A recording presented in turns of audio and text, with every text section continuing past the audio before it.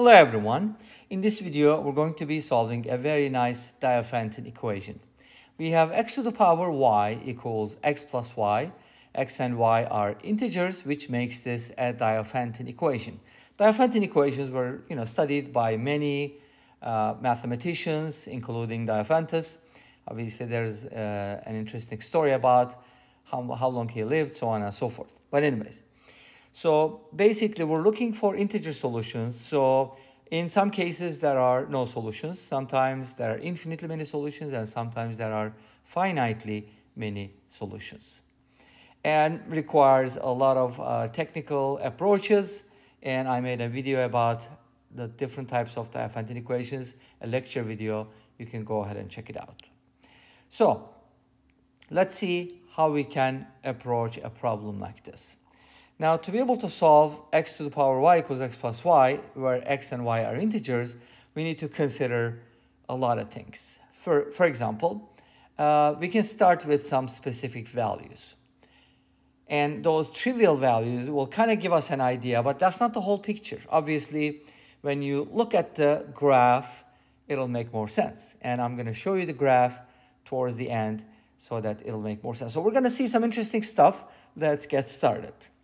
So to be able to solve it for particular cases first, I'm going to test some values. And you should do the same whenever you see a Diophantine equation. Test some values like x equals 1, x equals 0, y equals 0, things like that. Or you could even do something like replace y with x, replace y with negative x, and see if you can arrive at something interesting. Maybe you'll come up with a pattern. Maybe you'll just find no solutions. And, you know, uh, you never know. So Let's start with y equals 0. Okay. And the reason why I start with y equals 0 is because y is in the exponent. As you know, when you raise any number to the power 0, you get 1. Wait a minute, is that true for 0 as well? Yes. Uh, I know a lot of people are going to object to this and they're going to say, no, 0 to the power 0 is undefined, it's 0, whatever, blah, blah, blah. No. 0 to the power 0 is 1, it's been proven. And even though some people still say there's no agreement, and too bad. I mean, they should agree to, the, to this. Anyways, I made a video. You can go and check it out. It's also in the description down below. So if y is equal to 0, we get x to the power 0 equals x plus 0. As you know, x to the power 0 is 1. 1 equals x plus 0, which is x.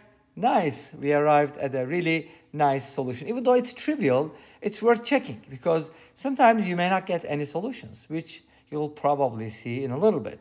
So y equals 0 implies x equals 1, which means 1 comma 0 is a solution ordered pair.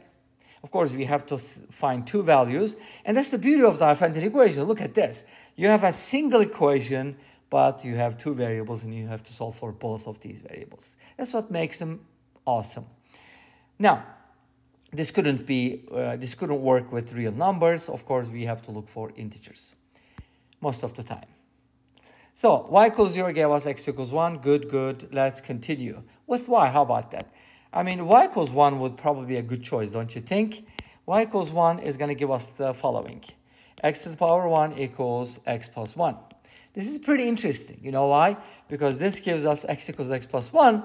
This is not even true for complex values. No solution whatsoever. So you're totally going to reject it because a number cannot be one more than the same number. Otherwise, bunch of infinitely many numbers would be the same, which is not the case, right? Okay, so y equals 1 didn't give us anything, which means y cannot be 1, but that's okay. Don't worry about it. Now, the next thing I'm going to do is maybe try y equals negative 1 because that looks like a good choice. And obviously, I'm not going to do this for infinitely many values because I can then try, try uh, y equals 2, y equals 3, whatever. We can do a couple just to get the feel for it. But y equals negative 1 gives us something interesting. x to the power negative 1 equals x plus negative 1. And that just means x to the power negative 1, as you know, is 1 over x. And that's equal to x minus 1. Beautiful. This gives us a quadratic equation. Yay.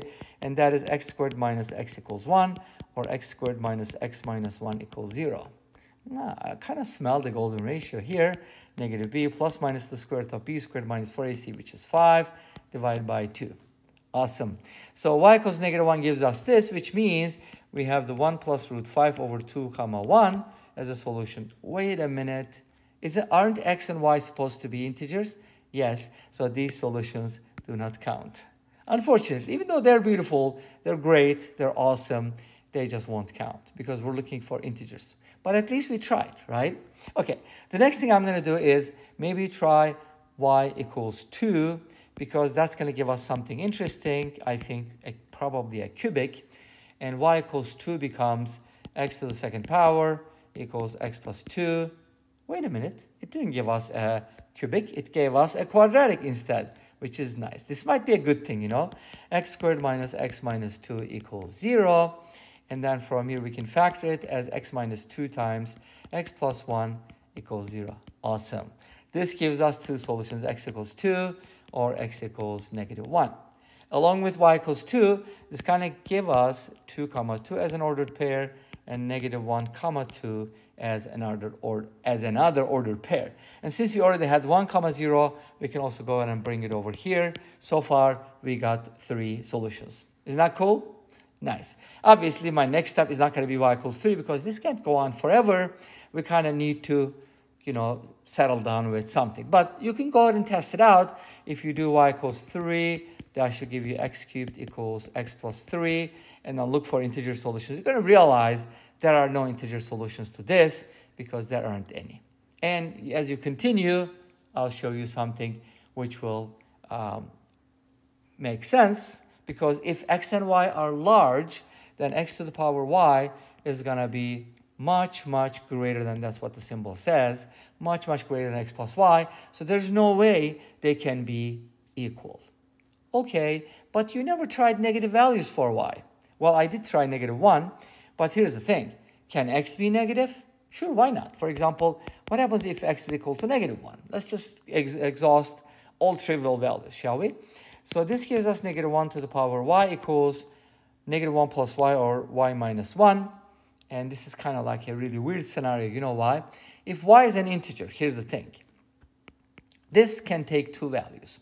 If y is even, so I can kind of write this as like a piecewise defined function. 1 if y is even, and negative 1 if y is odd. So we can kind of go off of two particular solutions. Suppose u y is equal to 2n. n is an integer, so 2n is uh, even. Uh, you get uh, negative 1 to the power 2n equals 2n minus 1. And that gives you 1 equals 2n minus 1. Guess what?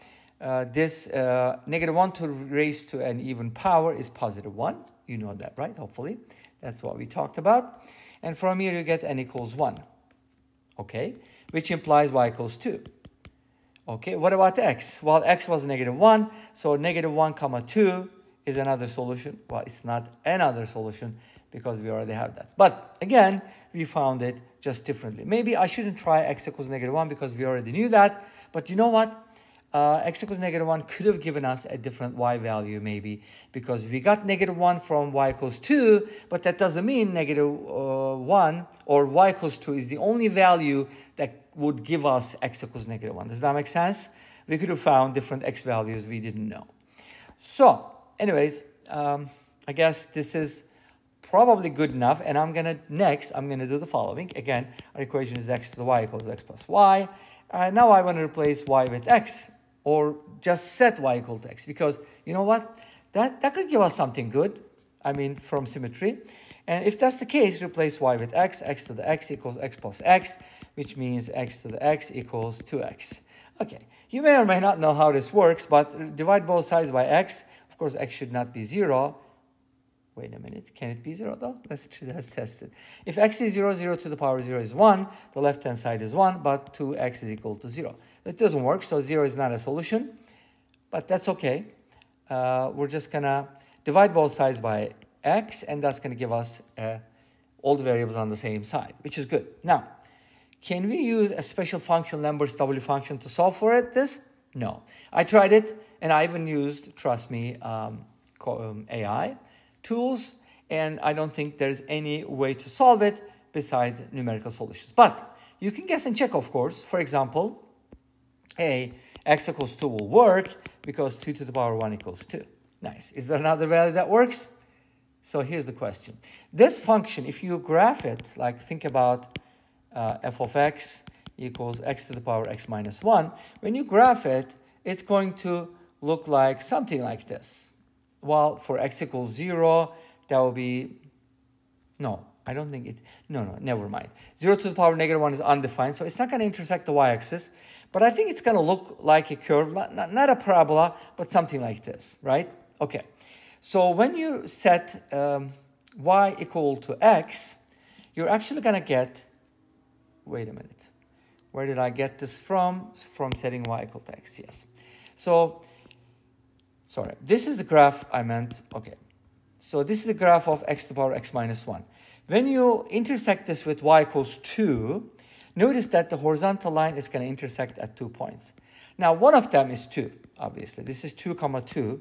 But there's another x value which is between 0 and 2, which is a solution which you can find using a calculator like Wolfram Alpha. But that's a pretty interesting graph. I would recommend you to graph it using Desmos or something else and check the intersection point. You can use Desmos. And by the way, I just found out today that you can do a 3D graphs with Desmos, which is something I'm going to use in one of my upcoming videos. And I think that is going to be tomorrow? No, actually Monday. Never mind. You're going to see the 3D graph over there. But anyways, this brings us to the end of this video. But thanks for watching. I hope you enjoyed it. Please let me know. Don't forget to comment, like, and subscribe. I'll see you next time in another video. Until then, be safe. Take care. By the way, before you leave, here's the graph of x to the y equals x plus y. I just wanted to show you because something significant about this. Remember, y cannot be 1. y equals 1 gave us x equals x plus 1, which is impossible. So that means our graph will have some type of an asymptote. And notice the two points that I marked, 2 comma 2 and 1 comma 0. Why do we not see the negative solution here? because for negative values, the exponential is going to go kind of crazy. So Desmos does a graph it. Okay? And until next time, make sure to check out A plus BI and bye-bye.